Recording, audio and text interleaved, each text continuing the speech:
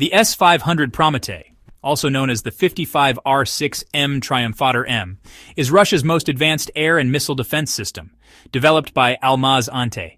It is the successor to the S-400 Triumph and designed to provide next-generation protection against a wide spectrum of aerial threats, from stealth aircraft and drones to ballistic and hypersonic missiles.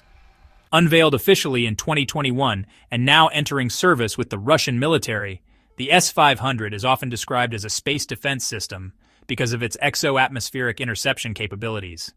It is the only operational defense system claimed to intercept intercontinental ballistic missiles and hypersonic cruise missiles, including threats from low Earth orbit like satellites. Key features that make the S-500 exceptional. 1. Range and altitude.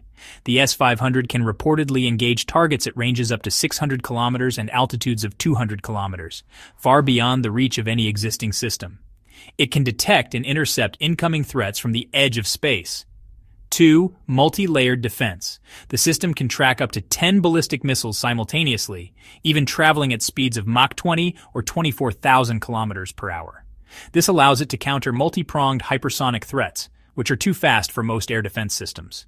3. Radar and tracking systems. The S-500 is equipped with advanced radar suites, including the 91 N6AM acquisition radar, the 96 L6 TSP multi-mode radar, and the 76 T6 and 77 T6 fire control radars. These allow it to detect stealth aircraft like the F-35 and B-2 Spirit, making it a direct challenge to NATO air superiority. 4. Missile Arsenal.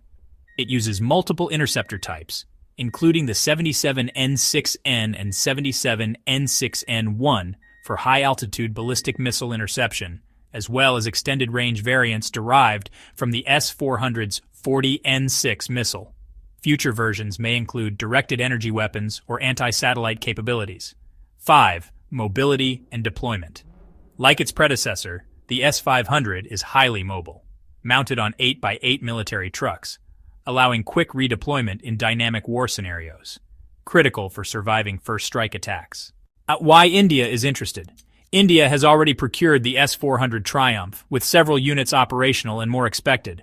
Now, India is reportedly in preliminary talks with Russia for acquiring or co-developing the S-500 system, driven by several strategic considerations.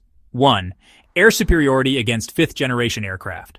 With growing stealth fighter deployment in Asia, such as China's J-20, India views the S-500 as a force multiplier to neutralize aerial threats long before they enter Indian airspace.